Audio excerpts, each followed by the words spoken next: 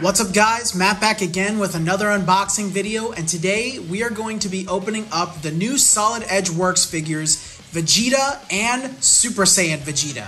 But like always guys, please remember to subscribe to the channel if you haven't already, like this video if you enjoy it at the end of the video, and of course comment your thoughts down below in the comment section once the review is over so we can have a discussion.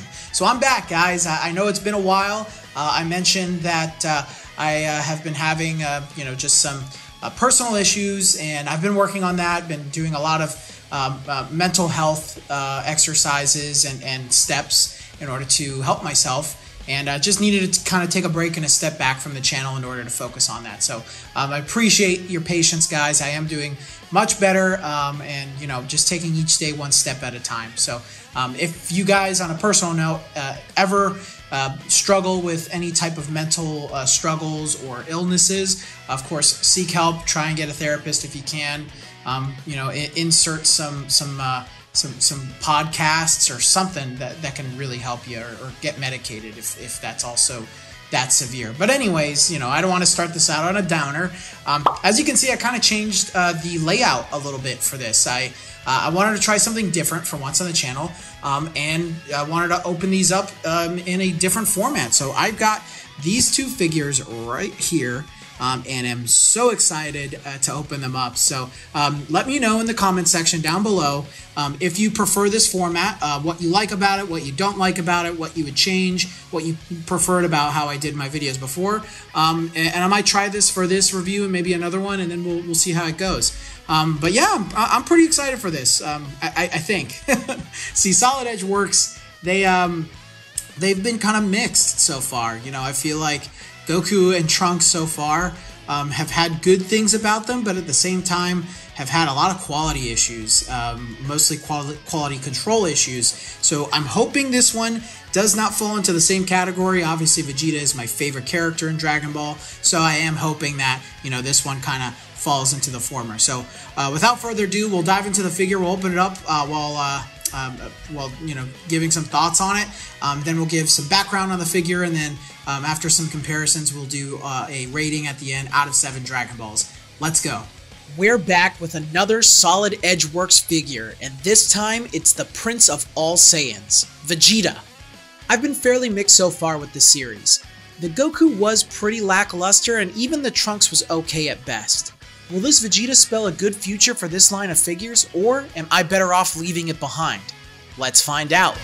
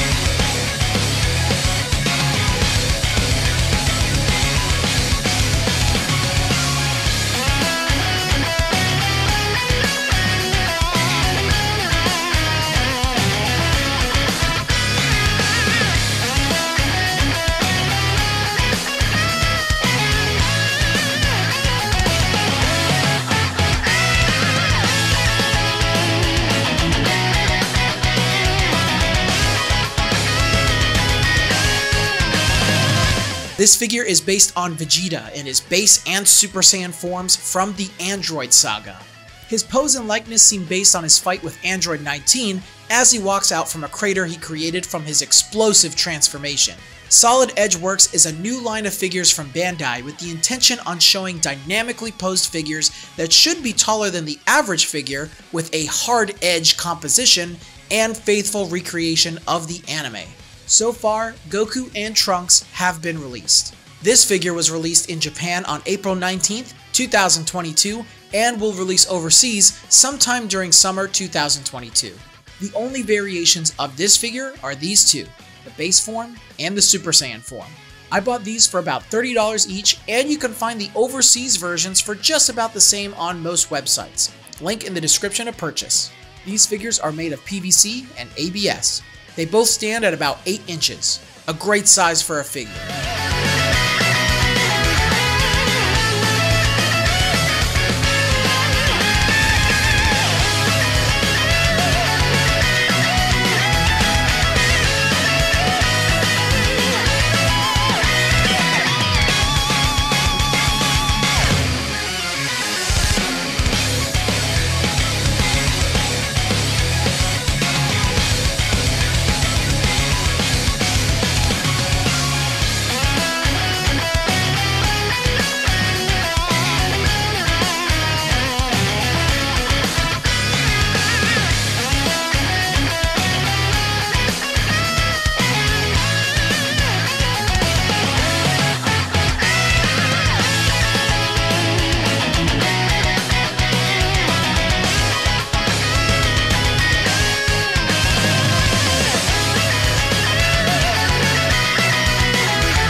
This figure comes in three pieces. His upper body, legs which are the same between both figures, and a support for his foot. He absolutely needs this support to stand. So out of the box, I didn't think he was too bad, but as I recorded more b-roll and as time goes on, I noticed the glaring imperfections of this figure. His likeness is okay. I don't think Vegeta's face looks bad at all as they managed to get all of the details correct, but his forehead is way too big. By the time Vegeta was in the Android saga, they really de-emphasized the size of his head. They also made this figure's hair way too big, which is more reminiscent of his Saiyan Saga version, which again, they de-emphasized as the series went on. They also made his Super Saiyan form's eyebrows look way too faded, so he looks like he has no eyebrows. Paint and shading aren't bad. He's got some subtle shading on his jumpsuit, good shading around the skin of his face, and his Super Saiyan hair looks really dynamic. However, there's no shading on the back, and the issue with his Super Saiyan eyebrows is very disappointing. Size and scaling are pretty good too. Bandai intended this figure to come out larger than the average Crane figure, so it is nice to see these fall into that bucket accordingly. He is too small compared to Goku from the exact same series though, so it's a little inconsistent. They should have shaved an inch on Vegeta or made Goku an inch taller. The sculpt is probably my least favorite aspect of the figure. His issue with his forehead is emphasized further by the fact that you can see the glaring separating molds for his hair, and his hair, overall, was crafted pretty poorly and not accurate to Vegeta's. It's too big and wide, and spikes way too far out. And by god, my Super Saiyan figure form leans way too far. He looks like he's falling over for goodness sake. After putting them on my shelf to display, they both started to lean too far, and I have to use other figures to keep them up. Not great quality on that support and weight on the figure. Overall, this figure is not worth buying. I have one more Solid Edgeworks review to do, but unless that figure is on the level of Masterlise figures, I don't think I'll be supporting the series anymore. Vegeta, much like the Goku figure in this series in the past, has likeness issues and a very poorly molded body overall. You're better off just saving for a Kuji figure instead. I'm giving this one 3 out of 7 Dragon Balls. Hey guys, thanks again for watching and I appreciate your patience with me. I'm sorry I've been gone for so long, but like I said, just had to really regather myself and focus on my mental health and put in some routines moving forward that'll help me keep that mental health in check.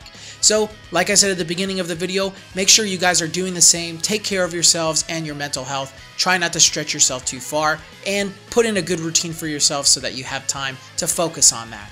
But as always, I hope you enjoyed the video. Please like it if you enjoyed it. Comment your thoughts on this figure down below in the comment section. And I look forward to seeing you guys in my next review for the Solid Edge Works Vegito figures. Until next time, guys, later.